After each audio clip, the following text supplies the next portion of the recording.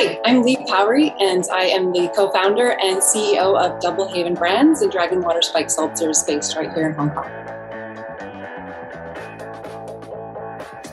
Double Haven, we're a bunch of craft beer fanatics, and we started Double Haven in order to bring the community together and to use our business as a platform for good.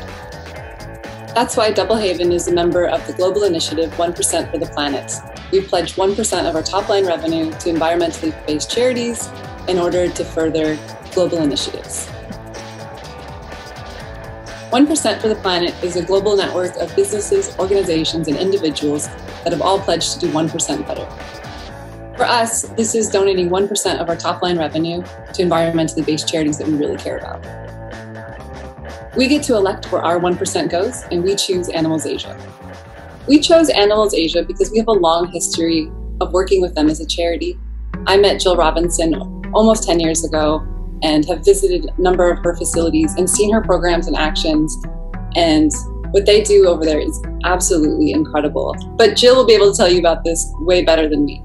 Over to Jill. Hello, I'm Jill Robinson, founder and CEO of the Animals Asia Foundation. When I first visited Bear Bile Farms in Asia in the 1990s, I was shocked by what I found.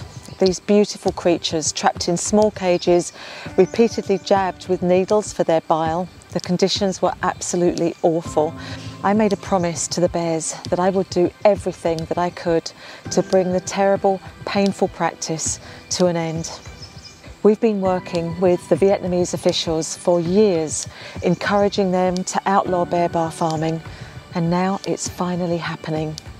This is the moment when we can save literally hundreds of bears still trapped in cages around Vietnam, and I can't tell you how much that means to me, but it means even more for these remarkable animals.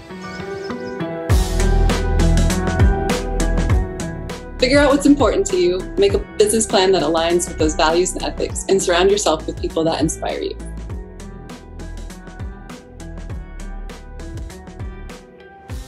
Twenty twenty two is the year that we look not only out but up. We're excited to get back to work. We're excited that things are opening up. We're excited to support people in our community who are doing fun and interesting and things for our environments. Look out for our upcoming initiative, DH Summit Goals.